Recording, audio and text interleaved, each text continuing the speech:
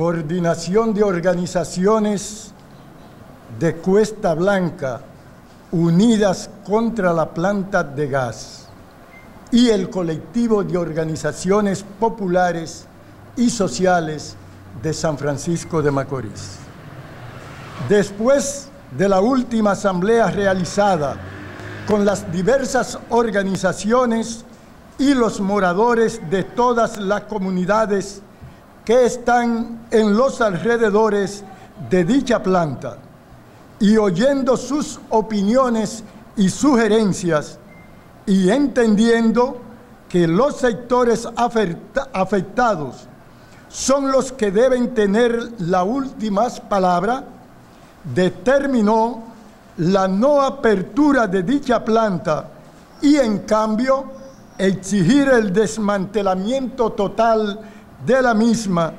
en virtud de que ésta representa un verdadero peligro para todas las comunidades que están en sus alrededores. Hay que tener muy en cuenta que más de un año, que a más de un año y dos meses, aún hay diversas personas recibiendo tratamiento psiquiátrico, producto del trauma psicológico creado por la explosión generada por la planta al explotar una válvula de un tanque que almacenaba unos 800 galones de gas. Además, que dicha planta está ubicada a menos de 100 metros de distancia del área verde y a menos de 200 metros de una estancia y de, de una estancia infantil violando todos los procedimientos legales establecidos por la ley sobre la distancia a que deben ser instaladas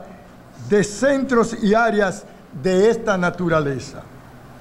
Por lo que demandamos la intervención del representante del Poder Ejecutivo aquí en la provincia, señor Juan La Antigua, gobernador provincial de Duarte,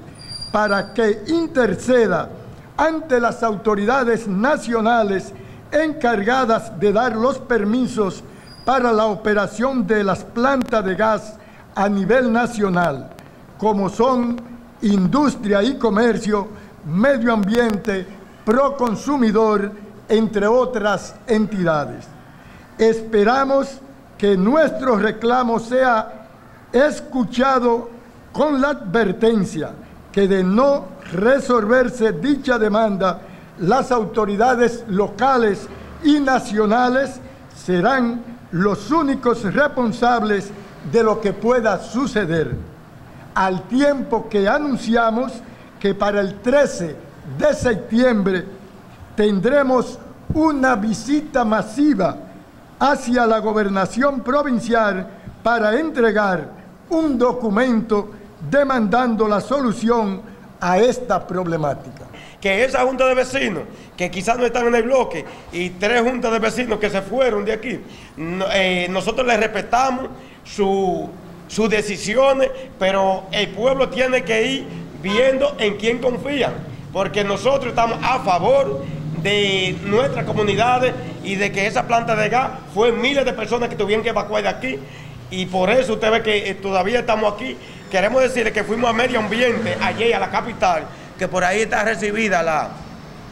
el, documento. También fuimos, ahí abajo hay otro, que fuimos a la capital hace unos 12 días, eh, a Industria y Comercio, donde nos recibió eh, el representante de Industria y Comercio, que nosotros estamos dando todos los pases legales para que esa planta sea movida de ahí. Ese es un señor que es parte de lo que son esa planta,